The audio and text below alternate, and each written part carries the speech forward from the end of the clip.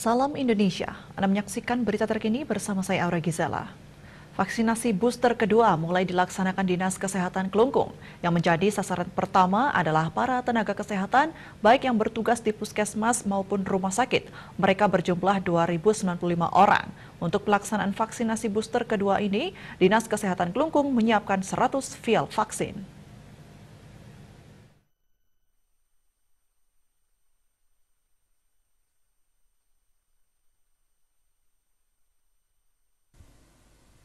Kepala Dinas Kesehatan Kelungkung, Dr. Nimade Adi Suapatni mengatakan pihaknya menyiapkan 100 vial vaksin.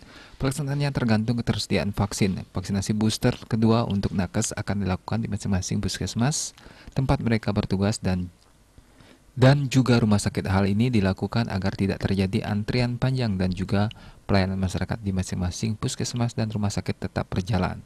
Mengenai perkembangan vaksinasi booster pertama, Kadiskes menyampaikan Mengacu pada data manual, capaian sejatinya sudah menyentuh angka 98%.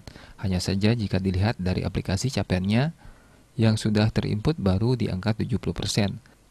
Adanya ketimpangan data tersebut disebabkan oleh sistem data yang diinput belum tentu serta-merta masuk dan muncul di aplikasi. Yang dipakai acuan oleh pemerintah adalah data di aplikasinya. Yang menambahkan tidak mungkin menolak orang yang vaksin meski dari luar Kabupaten Kelungkung, baik mereka tinggal sementara. Yang penting orang tersebut punya KTP, maka tetap akan kita layani. Sri Wiatnyana, Denpos.